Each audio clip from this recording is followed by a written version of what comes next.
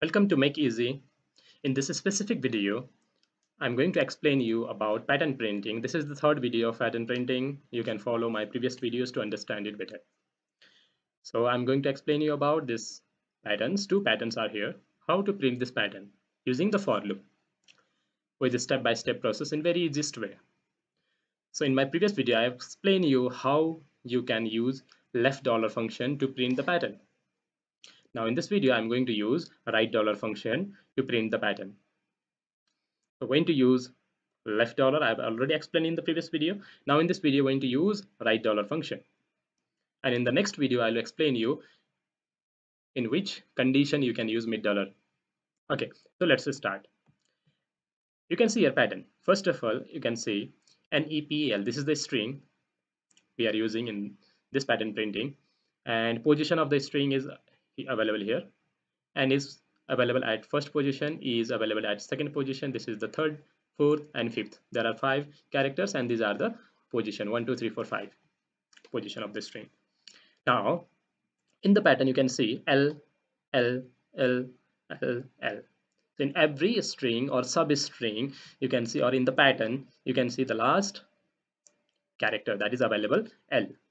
We have this last character and this is what right hand side you can check your hands this is right hand side and this one is left hand side.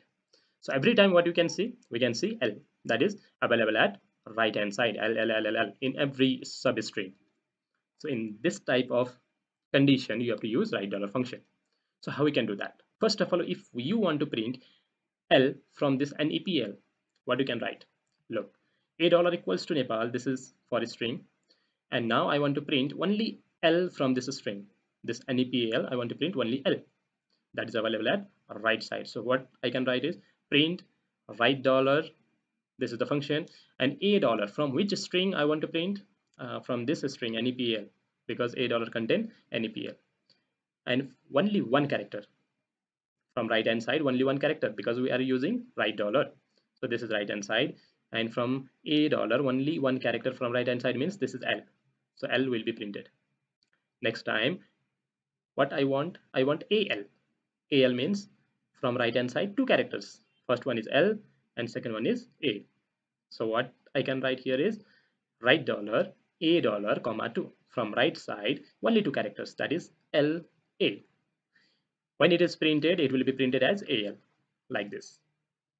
Now right dollar A dollar comma 3 from A dollar from right hand side only 3 1 2 3 so that will be PAL PAL will be printed. And next time 4 so it will be EPAL because the 4 means from right hand side 1 2 3 4 so EPAL and then last time 5 that means and from right hand side 1 2 3 4 5 so Nepal will be printed at the last and end of the program. So every time when you want to print the pattern just write it down in this way without using the for loop. And then after that you can use for loop to write the same code in this first pattern you can see number is changing from 1 2 3 4 5 so using for loop we can do that. For i equals to 1 to 5 so in the place of this 1 i will write here i and we can do that. Next one let's say this one. Let's write a code for this first one. The value changing. That is from first one is 1 2 3 4 5 so one by one it is changing. So i can use for loop. So let me write cls and then store the value that is a dollar equals to what we want is Nepal. Okay, now I will use your for loop for i equals to 1 to 5. Why 1 to 5? Because in this pattern you can see number is changing from starting from 1 2 3 4 5 so that's why i'm writing here 1 to 5 and then what i want to print print which function i'm using now right dollar right dollar bracket a dollar comma now shall I write here 1 2 3 4 5 or I will write in the place of this number i because i value will be changed every time. First of all i value will be 1 2 3 4 5 in this way it will work. So I'm writing here 1 sorry i. So i value will be 1 first time and then when we go to the next i i value will be 2 then 3 and 4 like that. Let me end the program. This is a simple program to print that pattern. Let me run. First time i value will be 1 so print right dollar a dollar comma i. That means l. Second time i value will be 2 next time means i equals to i plus 1 so i value will be incremented and the control will go to the for loop. I value will be 2 then 2 means right dollar a dollar 2 from right hand side two characters. So that will be al first second. So al will be printed next time 3 4 5 in this way it will print the pattern. Now let's see the next one in next pattern also we have l l l l, l. that is the last character or right hand side character is available in every substring or every pattern. So we can use right dollar. First time what we can see here is a dollar comma 5 because from right hand side I want to print 5 characters. So a dollar comma 5 Nepal will be printed.